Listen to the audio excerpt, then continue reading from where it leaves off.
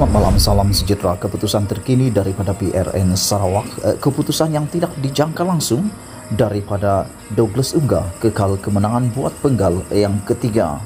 Dengan keputusan terkini menunjukkan GPS masih menduduki tempat yang pertama dengan tiga kerusi dimenangi setakat ini dan memerlukan 42 lagi untuk mendapat majoriti mudah.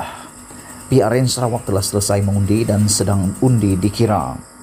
Pada pukul 6.15 diumumkan Douglas Ungga Embes dari PBS berjaya mengekalkan kemenangan di Bukit Samban untuk penggal ketiga berdasarkan kiraan tidak rasmi.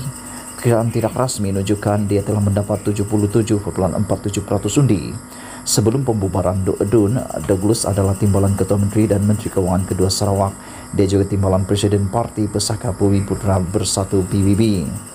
Walaupun demikian, berlaku satu kejutan yang luar biasa apabila lepas tarik diri Ali Biju tetap raih sokongan daripada pengundinya.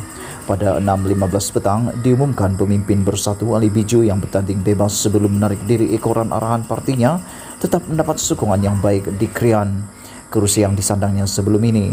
Dengan hampir separuh jumlah undi telah dikira, dia meraih 1.228 undi, namun GPS masih mendahului dengan 2.085 83 undi diikuti dengan PSB 1569 undi. Calon Partikan Bumi Kenyalang pula Denny Kwan mendapat 102 undi.